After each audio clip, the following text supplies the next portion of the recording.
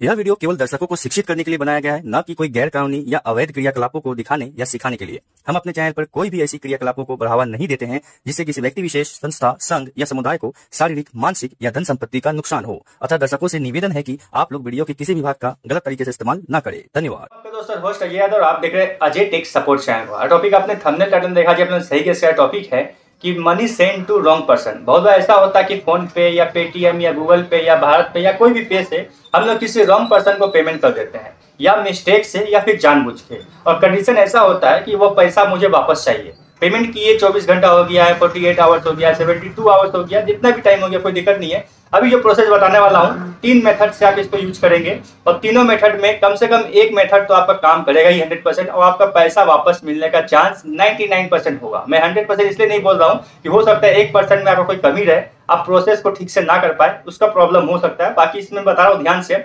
मैं बताऊँगा, तरीका क्या है, कैसे करना है, बाकी वो क्या लिखना है, कहाँ लिखना है, ये तो आप लोगों को आइडिया है ही। मैं रास्ता बता देता हूँ गाइड कर देता हूँ, आप लोग उस रास्ते पे चलिएगा। तो ज़्यादा बकवास नहीं करते हैं। आपको तीनों मेथड समझाते हैं क्या क्या करना पड़ता है, पहला स्टेप सिस्टम क्या होता है फॉलो कैसे करना है, ठीक है?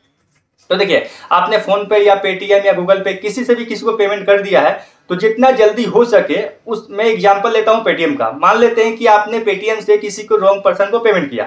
तो जितना जल्दी हो सके, उस पेमेंट का स्क्रीनशॉट अपने पास रख लीजिए, उसका ट्रांजेक्शन आईडी अपने पास रख लीजिए, और हो सके तो 24 घंटा के अंदर ही सारा प्रोसेस को करना है। ये स्टेप है पहला।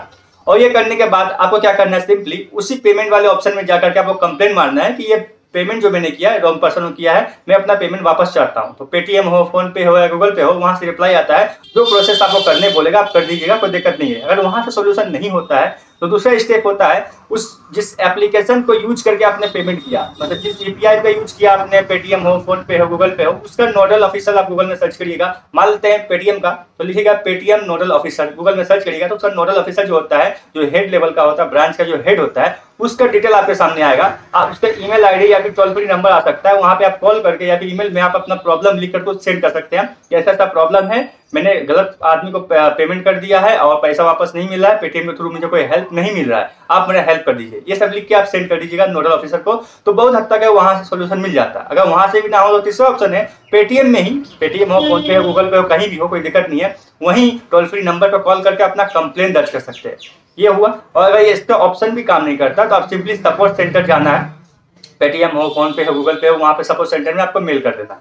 ये इतना सारा रास्ता है। दूसरा रास्ता ये है कि आपको पेटीएम वगैरह फ़ोन पे वगैरह गूगल पे वगैरह छोड़ देना है।